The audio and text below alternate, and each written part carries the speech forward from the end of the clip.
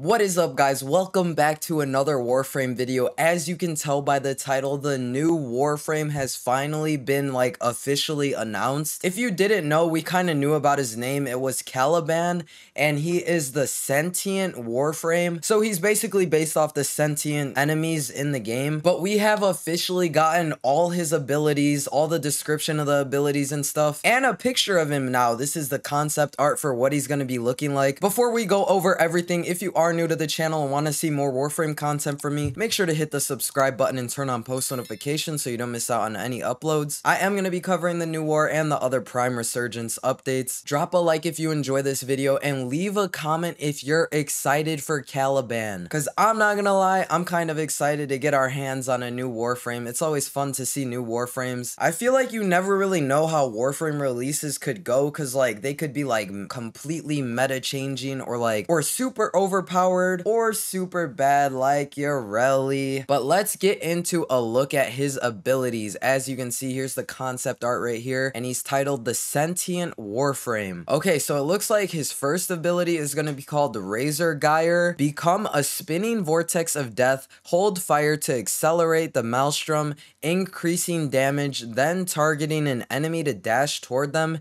Hitting enemies inflicted with sentient wrath creates a destructive blast. Okay, so we have some combos. Let's hop into Sentient Wrath real quick. Smash the ground, sending out a wave of destruction. Those not killed by the initial blast are helplessly lifted into the air where they continue to suffer damage for a short time. Oh yeah, I'm not gonna lie. The first thing that comes to mind for Sentient Wrath is it sounds like Rhino's Stomp ability, I think is what it's called. Except maybe a little bit better because it says you smash the ground and then if they're not killed by the initial blast, they just float in the air and take a little more damage over time. And this this is the ability that if you combine with the first one, Razor's Gyre, it'll create a destructive blast. And I'm not gonna lie, become a spinning vortex of death. That kind of sounds like Revenant's fourth ability, but I'm gonna stay open-minded because we do not have official gameplay yet of any of these abilities. These are just the descriptions. Then we have Lethal Progeny. I hope I pronounced that right. Don't attack me if I didn't. Call on Caliban's sentient aspect to produce up to three con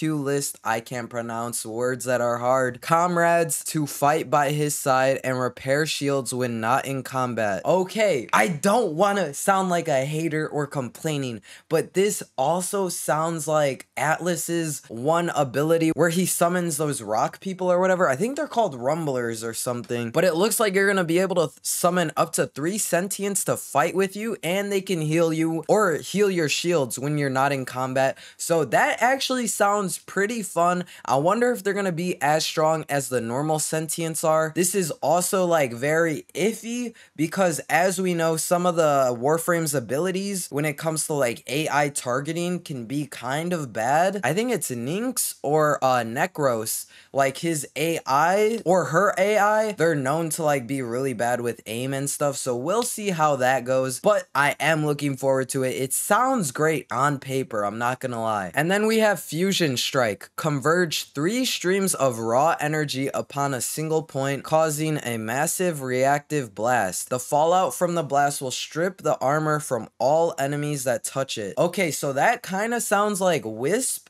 you know how she pulls out the sun from her little dimension or whatever? It sounds like that, except when you shoot it, it's gonna cause a big blast and that can strip enemy armor. Oh, and then we have the passive adaptive armor. Allies within affinity range gain increased resistance to the types of damage they are currently taking. Okay, so that sounds like a built-in adaptation. That could actually be great, but we're gonna have to see how it works and of course how high the percentage would go because it doesn't say right here. Overall though, I'm super excited for this Warframe. Of course, you know me, I love new content and I love to see what DE is working on.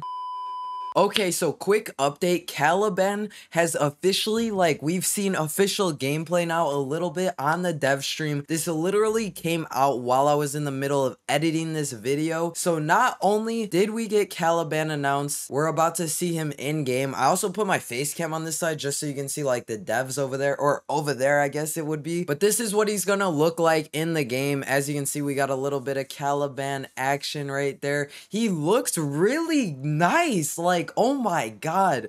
This is gonna be the ability where he summons three sentients to fight with him. As you can see, they're just chilling right next to him. This also looks like maybe some sort of new war map in the background. I don't know. This background does not look familiar wherever they're standing at. Maybe a new, I, I have no idea what it is. I'm not gonna lie. But Caliban looks great. As you can see, I'm super excited for him. But not only did Caliban get announced, Harrow Prime has been announced. This is what Harrow Prime is gonna look like in game. But yeah, it is official. Harrow Prime is the next Prime, even though we've all been known that kind of. But we can officially see what he looks like now in game. I'm super excited for Harrow Prime. I knew he was coming out soon, so I never really played the original Harrow that much because I was waiting for this. But I'm super excited now I can finally put some Forma into Harrow Prime. And this is what he looks like in the customization screen. I don't think they change his colors or anything, but this is what Harrow Prime is going to be looking like. Let me know if you guys like his Prime look. I think it's pretty cool, but I do prefer his deluxe skin over it. And I do have his deluxe skin just because I thought it looked so nice. But let's get back to the video. Sorry for interrupting because this literally came out while I was in the middle of editing this video. And I thought, why not throw it in there, you know? Let me know your guys' thoughts on this Warframe though, and maybe drop your predictions if you think he's gonna be a good Warframe or a bad Warframe. I'm not gonna lie, I feel like he definitely, or she, I don't know their gender, I guess it doesn't really say, well, I don't even know if sentients have gender, but I feel like they're definitely gonna be a really good Warframe. I don't know, it just sounds like so much potential just off of what we see on paper, but of course we're gonna have to see gameplay and how it implements implements into the actual game. But yeah, if you do want to see more Warframe content from me, stay updated with all that stuff, make sure you hit the subscribe button, turn on post notifications so you don't miss out on any uploads. Drop a comment, let me know your thoughts on this new Warframe that we are getting, and drop a like if you enjoyed the video. Thank you for watching, and I'll see you guys in the next one.